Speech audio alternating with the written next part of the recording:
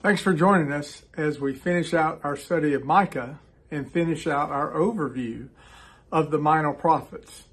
Last week, we looked at Micah chapter 4, and Micah holds out hope that a Redeemer will come to Israel. He will defeat all of their enemies and return Israel to her former glory, the days of David and Solomon, and even go beyond that, making it an even greater nation. But this week, Micah comes to us with sadness. He's sad because he knows that judgment is coming. He understands what that means to the nation and to the people. But he also holds out hope of God's mercy and God's uh, forgiveness if the people will come to him in humility and repent. Uh, he'd been the mouthpiece of God for years, telling the people what was coming, and they had not listened to him. Seems like he's walking through the streets of Jerusalem one more time and looking for goodness, but all he finds is wickedness, and he sees how terrible the wickedness uh, has become and what that means for the coming judgment. Uh, just like all of Israel's prophets, he takes the people's sin on himself. He puts his people with them because he realizes that the good people are going to be uh, affected just like the people who've caused all this wickedness. Let's look at Micah chapter 7, and we're going to start with verse 1. Woe is me! For I am like those who gather summer fruits, like those who glean vintage grapes. There is no cluster to eat of the vine ripe fruit which my soul desires. The faithful man has perished from the earth, and there is no one upright among men. They all lie in wait for blood. Every man hunts his, hunts his brother with a net, that they may successfully do with both hands the prince asks for gifts, the judge seeks a bribe, and the great man utters his evil desire. So they scheme together. The best of them is like a briar, the most upright is sharper than a thorn hedge. The day of your watchment and punishment comes. Now shall be their perplexity. In verses 1 and 2, Micah explains uh, the reason for his sadness. He goes out looking for goodness, but he doesn't find any.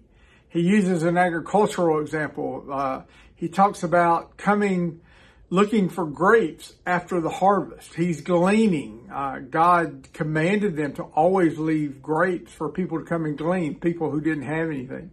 He says he goes looking for grapes and he cannot find any. He goes looking for godly people and they're not there. All he finds is wickedness.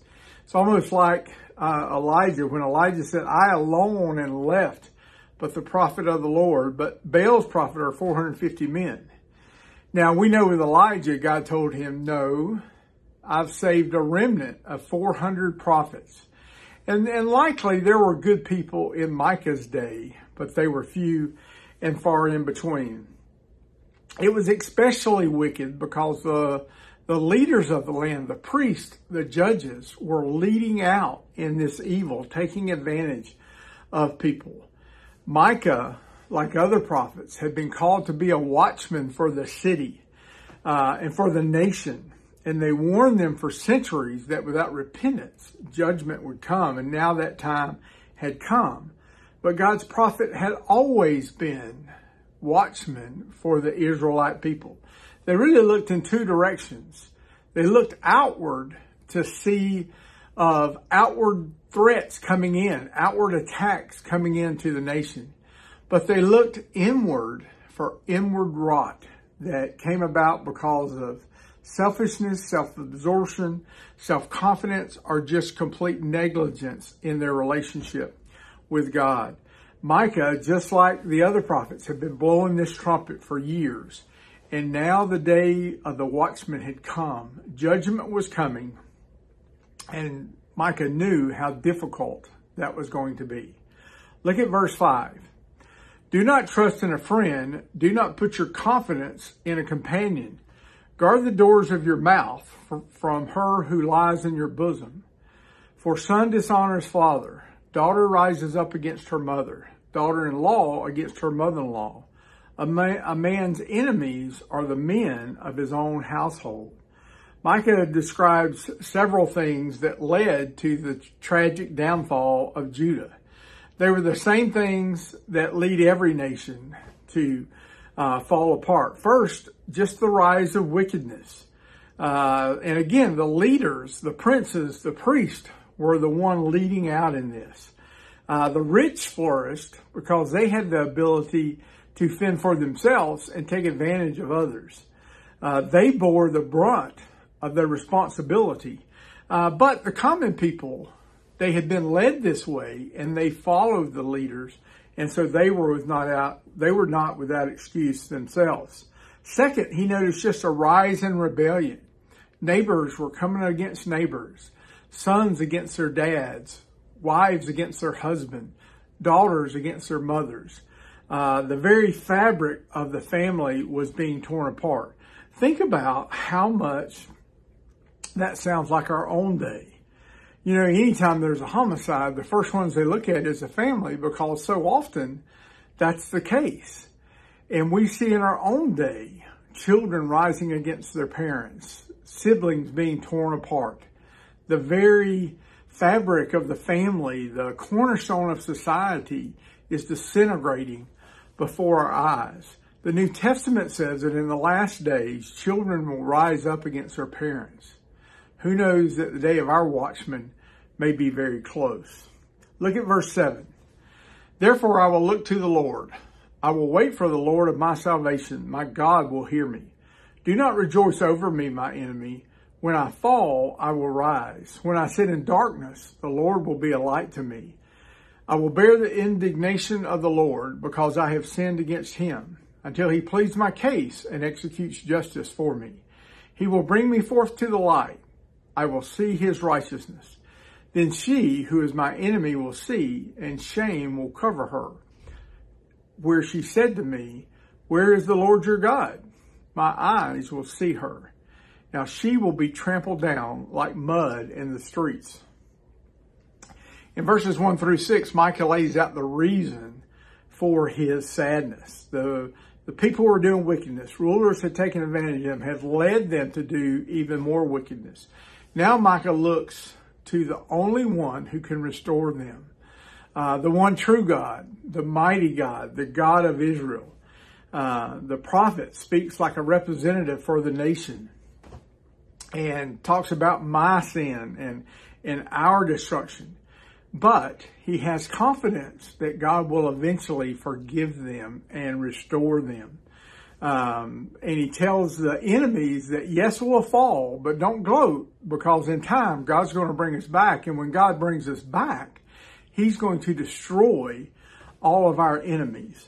Um, so he tells them, uh, they had said to him, where's your God? And he says, well, just wait. He's coming and you'll see that. And he says, they'll be trampled down like in mud. Look at verse 18. Who is a God like you, pardoning iniquity and passing over the transgression of the remnant of his heritage? He does not retain his anger forever because he delights in mercy. He will again have compassion on us and will subdue us our iniquities.